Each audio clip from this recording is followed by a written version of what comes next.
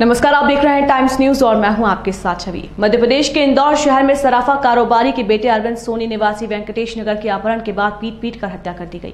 हत्या का आरोपी सूदखोर कृष्णा मालवीय को बताया जा रहा है। फ़िलहाल पुलिस ने हत्याकांड के आरोपी की तलाश में अब 25 से ज़्यादा कैमरे खंगाल चुकी है और जल्द ही आरोपियों को गिरफ़्तार करने का दावा किया है। हालाँकि एक सीसीटीवी वीडियो भी सामने आया है, जिसमें दो लोग कारोबारी के बेटे के पीछे भागते नज़र आ रहे हैं। मध्य प्रदेश की आर्थिक राजधानी इंदौर में एक बार फिर से हत्याकांड की सनसनीखेज घटना सामने आई है, जिसमें पैसे के लेन देन को लेकर सराफा कारोबारी के बेटे अरविंद का पहले कृष्णा नामक सूदखोर ने अपहरण किया और फिर पीट पीट कर उसकी हत्या कर दी। रविवार तड़के सराफा व्यापारी के बेटे की लाश खुड़ैल थाना क्षेत्र में सड़क पर मिली। परिजनों के मुताबिक अरविंद सोनी ने अन्य के फ़ोन से अपहरण की सूचना दी थी और इसके साथ ही कहा था कि सूदखोर कृष्णा द्वारा उसका अपहरण किया गया है, जिसकी पुलिस ने तत्काल एरोडम थाने में शिकायत दर्ज कराई थी। वहीं लॉकडाउन के बीच हत्याकांड की इस घटना ने एक बार फिर शहर में हड़कम मचा दिया है। पुलिस मृतक के घर पहुँची, जहाँ परिजनों से बयान लेने के साथ आसपास के करीब 25 सीसीटीवी कैमरे के फुटेज खंगाले हैं, जिसमें एक वीडियो में दो लोग अरविंद सोनी के पीछे जाते हुए नज़र आ रहे हैं। फ़िलहाल पुलिस सरगर्मी से आरोपी की तलाश में जुटी गई है और जल्द ही हत्याकांड की घटना का खुलासा करने का दावा किया जा रहा है। बताया जा रहा है कि अपहरण के दौरान अरविंद सोनी ने न सिर्फ़ परिजनों को सूचना दी थी, बल्कि लोकेशन भी बताई थी।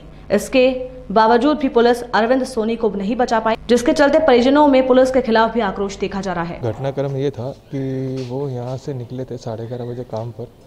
तो यहाँ से निकलने के बाद जब वो आगे इस गली में गए तो वहाँ उनके पीछे हुए भागते हुए दो जने गए। एक या दो जने थे वो गए। उसके बाद का घटनाक्रम पता नहीं जब पापा जी डेढ़ बजे उनको टिफ़िन देने गए मेडिकल शॉप पर तो वहाँ से हमको जानकारी लगी कि वो सुबह से आए नहीं हैं। फिर उसके बाद हमने उनको कॉल लगाने की कोशिश करी और फ़ोन उनका बंद आ रहा था।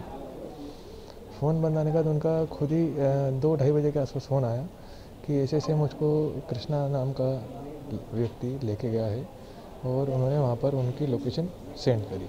कौन लोग हैं ये जो लेके गए सर इसमें कृष्णा मालवीय का ही पता है हमको। कहाँ रहता है ये और क्या काम करता ये है पल्लर नगर का काम करता था क्या ये सट्टा बाज़ार का काम करता है और रुपये ब्याज पे चलाता है। कितने का लेन देन था? सर लेन देन तो इनका नहीं था ये गारंटर थे इसमें। अच्छा फुटेज में क्या सामने हाँ, फुटेज में ऐसा रहा है कि कोई व्यक्ति उनके पीछे भागते हुए गया। क्या किडनैप वगैरह भी किया था इनको? सर अपहरण जैसे क्या था कि उस व्यक्ति से ही बात हुई है। पहले तो हमसे वो मना कर रहा था कि हमारे साथ नहीं है। और भैया यूँ कह रहे थे कि मैं उसी के साथ हूँ। उन्होंने हमको चुपके से कॉल करा था और लोकेशन भेजी थी। अच्छा लोकेशन फिर उसके बाद? उसके बाद उन्होंने हमसे कहा था कि ना मैं इसको इससे बात करके तकरीबन चार पाँच बजे तक मैं घर आ जाऊँगा। कितने का लेन देन था ऑनलाइन हाँ, ऐसे तो भैया तो हमको बीस तीस हज़ार का कहते थे और ये हमको डेढ़ लाख रुपए का बोलता है। तो फिर आपको कब पता चला कि आपके जानकारी कैसे लगी आपको? जानकारी भैया का फ़ोन आया था कि मेरे को ये व्यक्ति लेके आया तो फिर उसके बाद क्या हुआ? फिर उसके बाद हमने उस व्यक्ति को फ़ोन करा तो वो मना करा था कि हमारे साथ नहीं है मैं पार्टी में आया हूँ। अच्छा आपके पापा की बॉडी कहाँ पर हाँ? भैया की। कहाँ पर मिली भैया की बॉडी हमको मिली थी ये देव देव गोड़ारिया खोड़ेल गया ये तो क्या लगता है आपको कि किसके मारा हुआ है? क्योंकि सर जिस हिसाब से बॉडी पे निशान थे तो उससे ऐसा लगता है कि मारा कुटी करके ही उनकी दम निकाला गया है। आपका क्या लगता है पुलिस आपके हेल्प कर पा रही है? हाँ सपोर्ट कर रही है। आपका नाम हाँ मेरा नाम अभिषेक। मैं उनका छोटा भाई हूँ।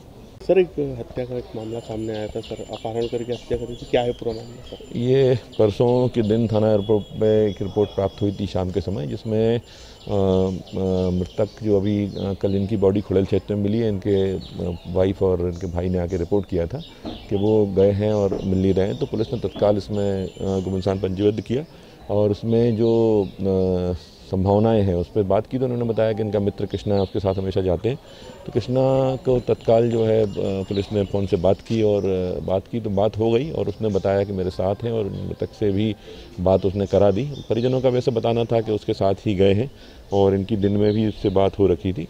तो ये सब चीज़ें सब प्रकाश में आई और उन्होंने कहा तो उसने कहा, एक डेढ़ दो घंटे वापस लौट रहे हैं। और उसके बाद जो है घर वाले भी संतुष्ट हुए और पुलिस को भी जो सब इंस्पेक्टर बलराम है, उसको ऐसा लगा के ये लौट आए गए। उसके बाद इनकी जो है, कृष्णा से चूँकि इनका परिचय था तो इनके परिजनों की भी कृष्णा से और भी बात होती रही। रात के साढ़े दस बजे भी हुई, सुबह भी एक बार उन्होंने बात की।